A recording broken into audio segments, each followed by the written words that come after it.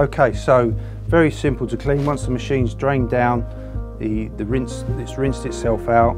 There's no seals on the doors as you notice, so there's no cleaning to do there apart from wipe round if you need to. The wash arms, I would just do a manual inspection on the wash arms, just so that you know there's no blockages and things like that. If there is, they're quite simple to take out. You just loosen the screw here, pop out the rinse arm, and then pull off the wash arm. And you can take them to the sink and give them a wash. Put them back in, push that one down, Okay, so they're clean, and this is your strainer, which comes out, and you would take that out and put that in the sink and clean that too.